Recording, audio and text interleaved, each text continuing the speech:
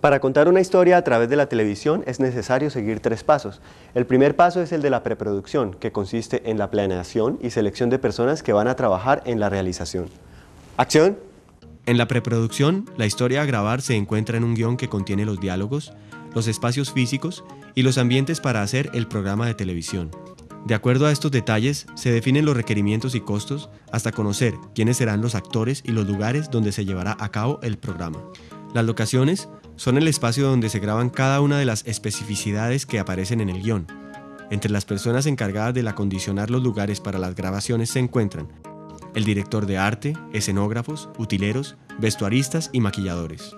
De acuerdo a la historia en el guion, los personajes se dividen en protagonistas, que son los personajes principales en los que gira la historia, los antagonistas, que hacen el papel de oponerse a la vida del protagonista.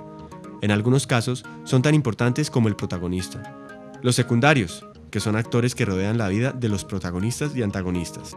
Los extras cumplen un papel importante, son personas que aparecen en la historia y no se sabe nada de sus vidas, Sirven para llenar espacios públicos grandes como estadios, centros comerciales y demás. Con todas estas personas y requerimientos seleccionados, se hace el plan de grabación, que es una minuta donde se organizan los lugares y los personajes de acuerdo a la disposición de estos para grabar.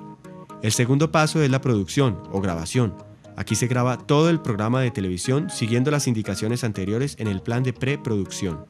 El tercer y último paso es la postproducción o montaje, y es la terminación del programa. Consiste en la unión de todo lo grabado en el plan de grabación para darle sentido y orden a la historia que se verá en televisión.